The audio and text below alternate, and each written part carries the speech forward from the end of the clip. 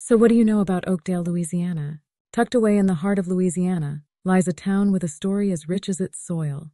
Welcome to Oakdale, where history and hospitality go hand in hand. Founded in the late 1800s, Oakdale was once a bustling lumber town, its fate intertwined with the mighty railroad. From humble beginnings, it grew into a community of hardworking folks, their legacy still evident today. Stroll down Main Street and you'll feel the echoes of the past.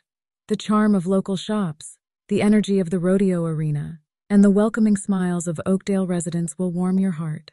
The Oakdale Museum holds the key to unlocking the town's fascinating history. Dive into exhibits that bring the past to life and discover the stories that shaped this unique place. Have you ever experienced the magic of Oakdale?